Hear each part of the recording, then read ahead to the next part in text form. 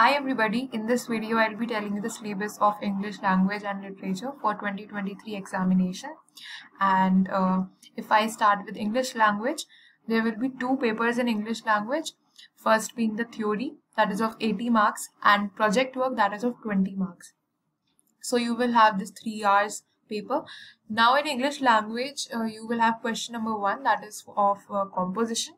And you will be given 6 options now these six options um, are narrative composition, descriptive composition, reflective, argumentative, uh, discursive topics and short story. So these are the six options that will be provided to you in your board examination out of which you have to choose one and write composition on the same. So your word limit is 400 to 450 words. Okay. Then uh, the second part is uh, the second question directed writing and proposal writing. So A part is directed writing. A lot of you scored less in this part because you are not familiar with the formats and the examples. So I have an ebook for this the link is in the description box. This ebook is of 60 rupees only and it has all the examples, handwritten notes of directed writing, all formats, the cultural program, book review, movie review, speech writing, report writing, and so on, whatever is in your syllabus.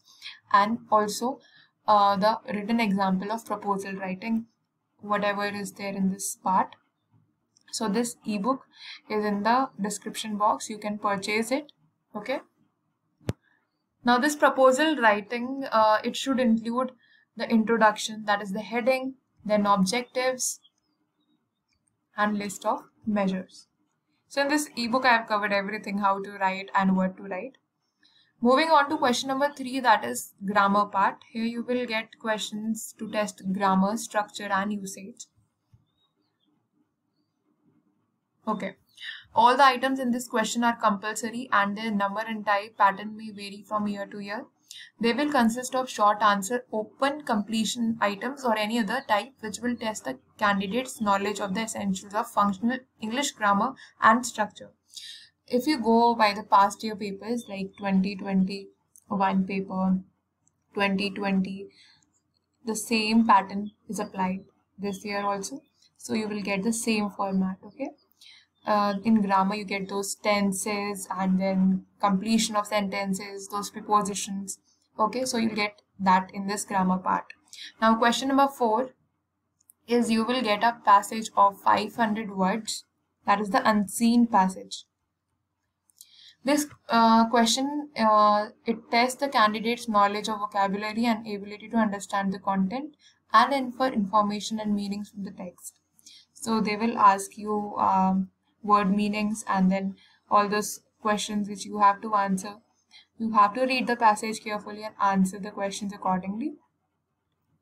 Now, the last question in this uh, part is making a grid, the 100 words grid, in which you have to summarize the whole passage and they will ask you a question. You have to write the uh, appropriate portion and everything should be written in your own words. Do not copy the same text and the same line from the passage.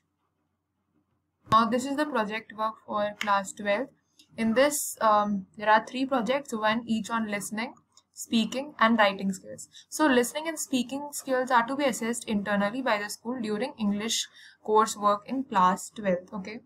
So uh, you can ask your teacher about this. This will be evaluated by them only and um, you'll get 20 marks. Do not worry about this. Try to be best uh, in this part also.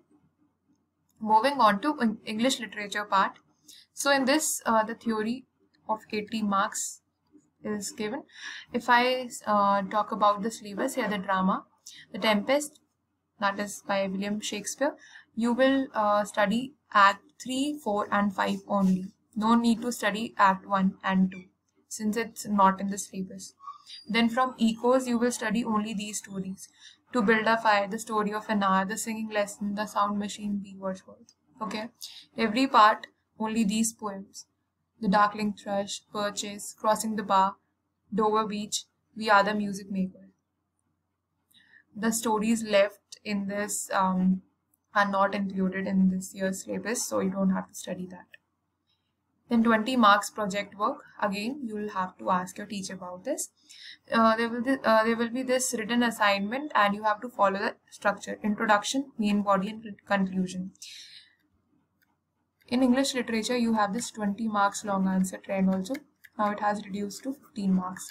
In this also, you have to write the title, a little uh, bit about the author, like three to four lines about the author and its famous uh, stories, moving on to the theme, starting with the introduction, then the body, then conclusion. So your answer is divided in these three parts. Make sure that you prepare English well because um, uh, in ISC board, a lot of marks are deducted from English. So I would only ask you to practice answer writing and read the stories carefully, understand the text, in Tempest, you can also refer to the paraphrase, alright?